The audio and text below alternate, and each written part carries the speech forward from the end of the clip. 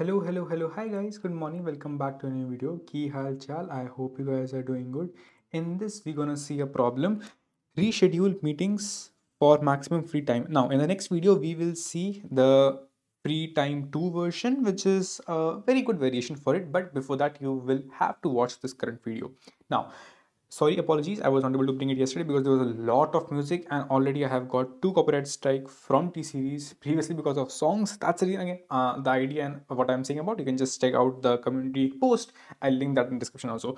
Now sorry in the comment section also. It simply says that you are given an integer event time. And uh, right that says okay um up till that event time the events will happen again. Up till that event time only the events will happen. Up till 5 up till 10 as you can see up till 10 up till 5 the events will happen.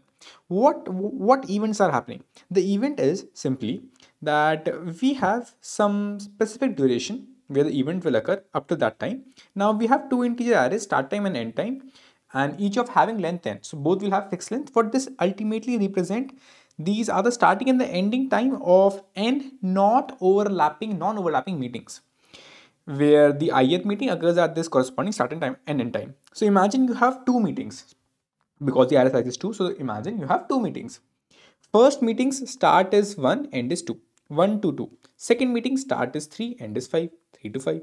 So you have n meetings, you have the corresponding event time and this is how it is given to you. Again make sure these are not overlapping.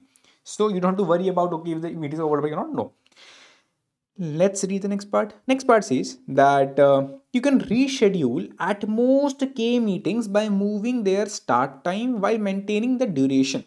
So meeting will remain. So like this this length of the block represents the meeting length. So length will remain as is. It's just that i can move around this meeting. I can move around this meeting. Now, the specific part which they're mentioning is the relative order of all meetings should stay same and they should not like always remain non-overlapping which means that I can move around but I cannot put this green block after the yellow block which means ordering should always remain same. That I am you know shifting around these shifting around these and green should come first then yellow. Same way green first then yellow then pink. These can be you know horizontally shifted but the order of them will remain same. This is what they are mentioning Ultimately, you have to return the maximum amount of free time possible after rearranging the meetings, which is shifting the meetings. And again, you can shift at most k meetings. Now, let's see, let's see the example. So obviously we have only two meetings. So let's shift them. So I will shift, let's say this block, because obviously this block, if I shift it, I can shift it, but technically it makes sense to shift this to the left, shift this to the right, and then in the in the middle, I will have the free space. If I shift this to the left, what will happen? This will come here it will remain as is. So now I will have 2 as the space. Answer is 2. Okay, let's see next one. Now, if I have all these blocks, obviously, this is already extreme, this is already extreme. Maybe I can shift this, shift and make it to the next extreme. How many I can shift? I can shift at most one and I'm shifting also at most one. This is the yellow one I'm shifting up. When he will shift, either he can shift here or here. Let's shift, let's say here. So it will come here. The green one is here. The pink one is here. Now 1, 2, 3, 4, 5, 6. I have 6 as the free space. Make sure you have to find out the maximum amount of free space possible. So out of multiple spaces, let's say if there could have been other blocks. So this is one space, this is one space, but this is the maximum amount of space which is which I can get. Okay, last one. Uh, this is one example in which I have all the meetings from 0 to 5. So there is no space possible. Now, let's start off by again although you must have simply observed one thing but let's start off with the bigger example because this is what i like always bigger example. And the same example i will take it for next variation of also. Next variation is 3450 like 3440 problem. In this variation it simply says that you had meetings given. And obviously when there are meetings there are some gaps. And you have to maximize these gaps. The the the ask from you is you can change or you can you know shift or slide at most two meetings now, my first question is what two meetings? Or if you can give me any idea of how these two meetings will look like. Okay, let's take randomly. If I let's say choose these two meetings, right? I want to shift them. I want to shift them. Obviously, now your question will be, Aryan, uh, why did you choose these? No, I did not choose. I'm just trying to choose anyone. So let's say, okay, let's say if you are arguing, then let's choose these two meetings. Cool. Then what happened? Okay, this meeting is the one. Now I can only slide it left or right. That's it. So what will happen? If this meeting will slide leftwards, obviously this M2 will come here. Now I will have the gap here and gap here. Obviously, if this will slide, this gap needs to come somewhere. Like it is the same, same thing. If let's say there's an empty space, you have a block. If you slide this block, so obviously if it is M1 and if it is G1, right? This is the gap one, this is the meeting one. So G1 plus M1 was some space, some space S space. If the space is still intact, if I'm shifting this meeting, which is M1, then obviously the other space will again become a G1, right? Ultimately. So it simply says that if M2 has shifted, obviously in his place, it will put up a place of G1. Remaining space as G1. And again, G2 remains intact. So what happened? Because of sliding of M2 onto any of its side, again, make sure I cannot put it anywhere like this. No, I can only slide it left or right. So by sliding it on one of its sides, I achieved a gap of G1 plus G2. Earlier, the gap was either G2 or G3. But now, because of this sliding, I achieved this gap. Okay, let's try the same thing here. When I did the same thing here, obviously, I will achieve a gap of G4 plus G5. Now, my question is, you know the gaps are always positive, right? You know that you have to maximize your answer. But here, when I say maximize the answer, I mean not the total gap sum because it will remain constant always you have to maximize one of the gaps to be as max as possible. You realized with one shifting of meeting, you achieved a gap in its corresponding gap sum. So why you are giving the corresponding other, you know, like this gap of G4, why you are giving to other meeting? No, give it to him only, which means that if rather I would have chosen this meeting, let's say M1, which means just beside it. So what will happen? Now these two meetings are together. Now they can shift together. So what I will do? I will shift. Let's say if this guy shifted on the right side, same way this guy shifted on the right side or maybe you can say shift on the left side. Again, shifting both of them together is actually the idea now because I want to sum up the gaps. What will happen now? Let's see. If I shift this on the let's say right side, so this M1 will come here and then I will have a G1 gap. Let's say if this shift to the uh, right side, then obviously I will have a G2 gap right? A g2 gap. And then as it shifts so m3 will sorry m2 will come here and then the gap will become g3 so what happened? What happened is i now am able to achieve g1 plus g2 plus g3 which is much higher obviously much higher or higher i should say than g2 plus g3 only. So with this current thing that we can slide only left and right, we observe that it is always, always, always beneficial to choose these k meetings consecutively. Okay, this is the first observation. Now, let's find the answer. So what we realize, okay, if we shift these two meetings, again, when I said these two meetings, it means I can choose firstly these two meetings, then these two meetings, then these two meetings, then these two meetings, and so on and so forth. Isn't it the same problem by saying, okay, you have a window of meetings, now you have to choose, okay, you know, two you have to choose two consecutive meetings which is a window of size 2 you have to choose. And with that window when you will shift that window ultimately get the maximum result. What the maximum result is maximum result is the sum of gaps.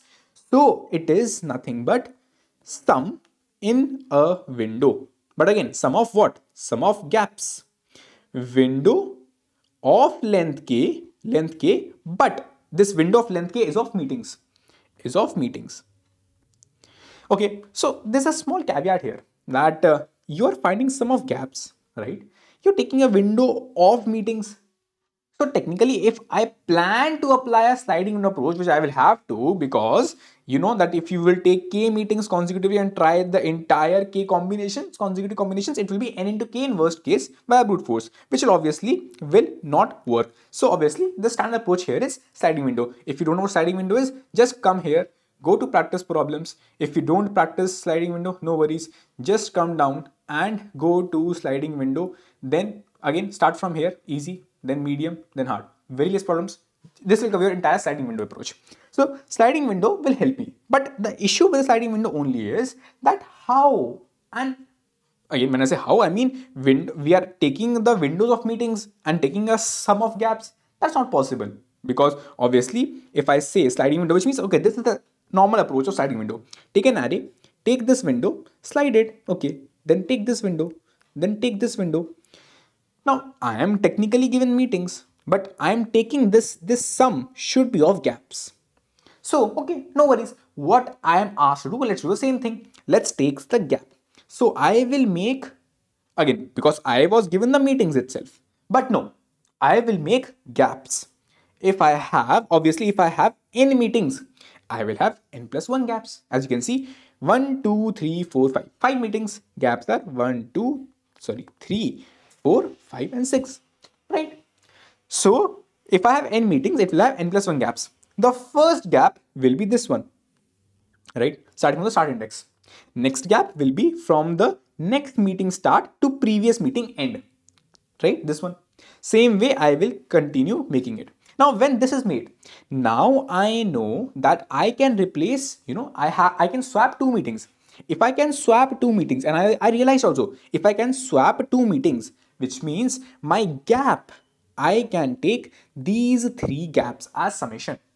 So what is now? Now the task is that in the gap array or in the gap nums array, make sure to take the sliding window of length 3 and maximize that length. So I will take this length 3. The current sum, the current sum is 3, 4, 5, 5. Okay, so maximum length so far is 5. Let's slide the window, slide the window. Now the sum, just add a 1, subtract a 1. Currently it is also 5, maximum is also 5. Okay, move ahead. Now it is 3. Oh, 3, okay, 3, 2, 3, 4, it should be 4, sorry. Yeah, if it is 3, ah, no, it is not maximum. Okay, slide it again. It is again 5, okay. So, so far sorry 5 uh, it, it's it's 4 so so far the maximum length is 4 and that's how i can achieve my answer cool let's see the code and again i will give you a quick dry run also uh, parallelly uh, the idea here is simply have a gaps array free gaps array initially in the very beginning i you will see this is the first gap which i have to put up. So i take the initial gap uh, gap vector free gaps vector and i just simply put up a 1 1 is nothing but start of the first meeting from 0 so start of the first meeting start start time 0 from 0 will be start time 0 minus 0 which will be only start time of 0 will be my first gap this gap. Then i went ahead with all the you know all the corresponding start times which means i will go on to the next meeting. Next meeting is this one i equal to 1 what what what it will say? It will say my meeting start and the previous meetings end. This is the gap. So from i equal to 1 the start minus previous meetings end time will give me the gap. So this is the gap I can have. And I'll same keep on doing up till the last meeting. But you will see there can be a final gap also. What it is from the end time to the last meeting's end. So from the end time to the last meeting's end, just get the final gap. Now you have all the corresponding gap, all the corresponding gap which you wanted. And again, now you know that if you have to take k meetings, you have to slide k meetings which means that you have to take a k plus 1 window of gaps so i will take a i will take a window of k plus 1 and i will find maximum free duration in that specific gap window again current sum for the window sum then i will i will start off from i equal to 0 again it is 0 1 2 3 4 5 up till this index i have to simply keep on taking the sum so in my current sum in my current sum i will keep on adding the free gaps of i. Again, in the free gaps sum, I will simply add 1 plus 2 plus 1. Okay, 4. Now, this is I have reached this index. As I go on to the index, i is equals to k plus 1. Again, here the k plus 1 will be nothing but 3, right? So, when I have reached i is, you know, equal to k plus 1 or, you know, even more, then now the current window in consideration is this one, which means I have to subtract this value and add this value. Okay, simply firstly add this value. So I will add, you know, free gaps of i, the current index i, I will simply add it 1. Then subtract this. What is this? What is this index? If this is i, right, and I know the window length is k plus 1, so this will be, if i is 3, k plus 1, so it will be i minus k plus 1. And I have to subtract it. So I will simply subtract this. So subtract i minus k plus 1 and again only and only when you have passed the first window and that's how you know you can do a simple sliding window. Again if you don't know what sliding window is just go and do the simple practice problems for sliding window. Then obviously this is for the current window. You have got the corresponding result in o of one time. But uh, you know that you have to find the maximum duration. And that maximum duration you have to simply maximize the current sum or the current window sum and get your answer. Now because of this all these things the only thing which you're doing is taking the free time array. Time will be O of n because no sorting, nothing is required. Uh, space will also be O of n because you are building a free gaps array from, from your own. Sorry, cool. I hope you guys got it. Again, apologies, I could not bring yesterday because there was a very loud music, very, very, very loud and I could not stop it. Bye bye, take care. Again, next video, next part will be coming right now.